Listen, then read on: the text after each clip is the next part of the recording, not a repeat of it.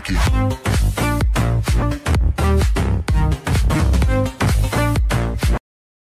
Hello, xin chào các bạn đã quay trở lại với channel của mình. Mình là TA eFootball đây. Thì hôm nay mình sẽ giới thiệu cho các bạn cách chơi sự kiện eCoin. eCoin, sự kiện là mới ra mắt ngày hôm nay ngày 26 tháng 3. Thì sự kiện này sẽ cũng giống như sự kiện SBC, SBC thì sẽ diễn ra hết đến hết mùa giải này. Thì chúng ta hãy cùng vào xem cách chơi sự kiện eCoin này nhé. Đầu tiên chúng ta sẽ đến với mục How to Play. À, ở mục này chúng ta sẽ um, ch chơi giống như sự kiện FPC đó chính là đổi các những cầu thủ để có thể lấy các vật phẩm ở đây như là Le Legacy, Legacy Point, Championship Point, Honor Point, Career Point, History Point và Icon Point. Và chúng ta sử dụng những cái vật phẩm này để đổi lấy các cầu thủ icon icon của chúng ta. Thì sự kiện này chơi cũng giống à, cũng giống như sự kiện SBC thôi. À, cũng dùng cầu, cầu thủ chúng ta để đổi lấy các vật phẩm mà từ các vật phẩm đó để đổi lấy icon huyền thoại. Thì ở đây có hai mục là ở, ở phần icon à, challenge challenge này thì challenge này thì sẽ có hai phần là một là một phần ở phía trên là à, dẫn đến dẫn các bạn đến cửa hàng dẫn các bạn đến store để các bạn mua gói 219.000 à, dẫn các bạn đến store đây. Dẫn đây bạn gói 219.000 này thì sẽ được 30 cái icon point. Career point là 4 cái story 4 cái legacy 4 cái championship 4 cái honor 4 cái vip point 1000 điểm. Thì uh, còn mục ở dưới là sẽ còn cái mục ở dưới thì sẽ dẫn các bạn đến uh, market để mua cầu thủ mua các cầu thủ của để mua các cầu thủ uh, để chúng ta có thể chơi sự kiện này. Thì đầu tiên đây là phần uh, đầu tiên, đây là phần để chúng ta thu nhận à, thu à, để chúng ta nhận được icon huyền thoại Nesta CB CB99 chúng ta hãy cùng xem chỉ số của Nesta nào. Skill bot là holding, tăng tốc 109 sút 68 truyền 97 nhanh nhẹn 104 phòng thủ 132 sức mạnh 127 chỉ số rất tốt.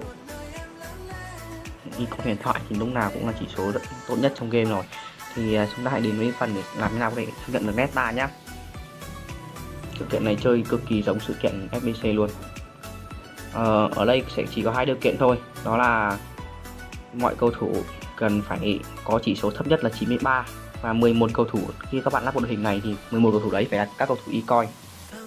Icon. Các cầu thủ icon full 11 cầu thủ icon luôn và các cầu thủ đấy phải trên 9, 9 trên 93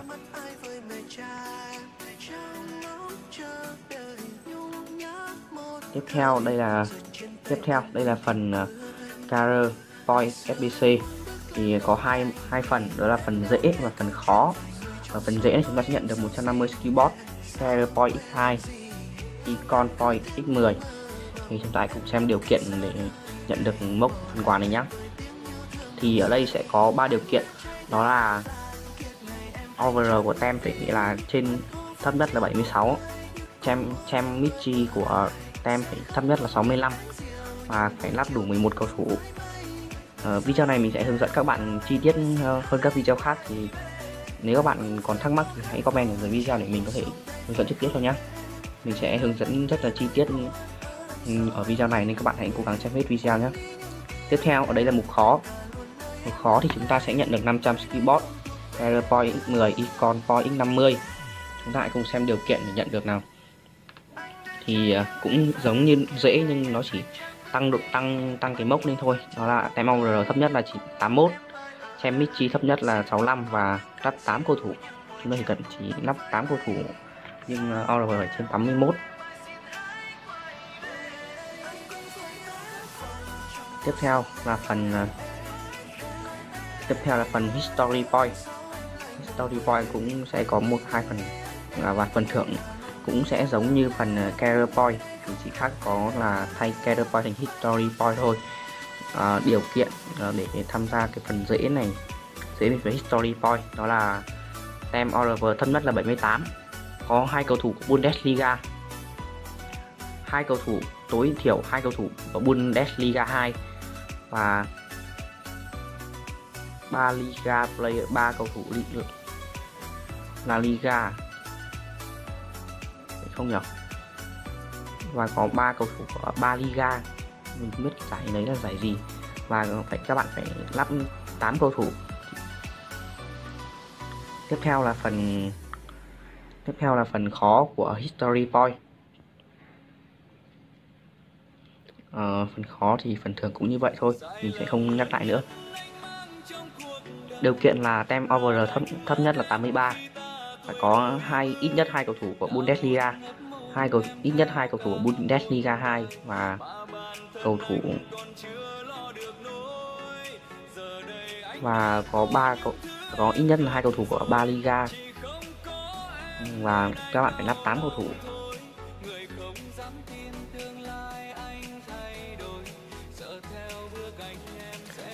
Tiếp theo là phần legacy legacy point sbc thì à, cũng sẽ có hai phần.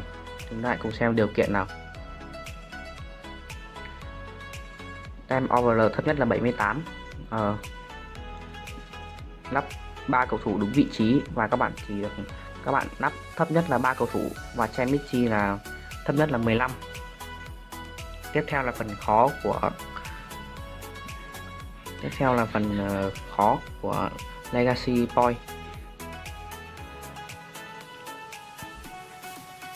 Ừ, chúng ta sẽ có tem over thấp nhất là 88 ờ, và 5 cầu thủ phòng ngự. 5 cầu thủ phòng ngự. 5 cầu thủ phòng ngự và trang mỹ trí thấp nhất là 20 và lắp 5 cầu thủ. Và chỉ được lắp 5 cầu thủ thôi. Lắp thấp nhất 5 cầu thủ.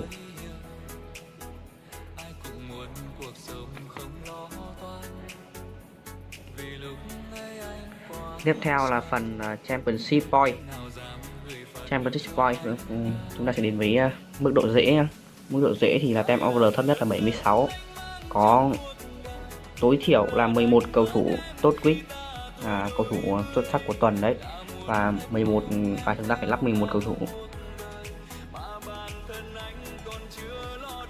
Tiếp theo là mức độ khó. À, thì mức độ khó thì đây thương lại cùng với đến với mức độ khó nhé máy mình hơi chậm nên các bạn thông cảm cho mình nhé thì tem over thấp nhất là 81 các bạn phải lắp 11 cầu thủ tốt quick và các bạn phải lắp 11 cầu thủ tất cả các vị trí. Thì nó chỉ hơn nhau ở cái chỉ số thôi.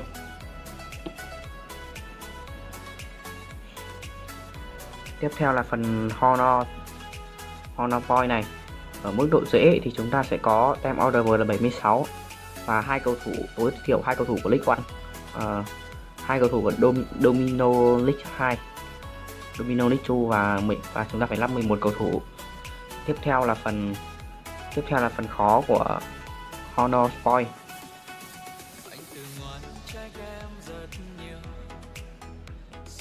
phần khó của Honor Point này chúng ta sẽ cần phải có time out 83 là thấp nhất hai tối thiểu hai cầu thủ định của giải League One. Và tối thiểu hai cầu thủ của Domino League và chúng ta phải lắp tối thiểu 6 cầu thủ. Tiếp theo sau khi chúng ta hoàn thành những nhiệm vụ này để đổi lấy các vật phẩm để, à, thì chúng ta sẽ đến với phần à, đến với tab icon này. Đến với tab icon này để đổi những cầu thủ của chúng ta. Đây chúng ta cần à, uh, 1150 và 1150 cái icon point và 44 cái legacy point để chúng ta đổi được Eusebio. Còn các những cầu thủ của icon ờ, rất là tốt. Đây chúng ta sẽ đổi các cầu thủ của mình muốn ở đây. Thì ờ, sự kiện này thì chúng ta sẽ cần phải bơm khá nhiều coin vào để mới có thể lấy được các icon này. Thì khi chúng ta lấy được những icon này thì chúng ta sẽ lắp vào. Nếu mà chúng ta muốn lấy ờ, Nesta thì chúng ta sẽ phải lắp vào để chúng ta lấy được Nesta hiện tại uh, icon hiện tại cao nhất còn ờ, ở phần offer này thì chúng ta sẽ là phần để chúng ta mua. Thì uh, mỗi lần mua chúng ta sẽ mất 3 3.750 là mua x1 còn mua x5 là chúng ta sẽ mất 1 18.750 còn ở các phần khác là 2.500 2.500 game thì chúng ta sẽ nhận được 10 sau cái điểm đặc biệt. Ok như vậy là mình đã hướng dẫn cho các bạn xong cách tham gia sự kiện ecoin icon mới uh, mới xuất mới diễn ra ngày hôm nay. Thì uh, các bạn nếu các bạn thấy hay hãy like share và comment. Trên comment ý kiến của bạn về dưới video nhé xin chào tạm biệt và hẹn gặp lại các bạn ở những video sau.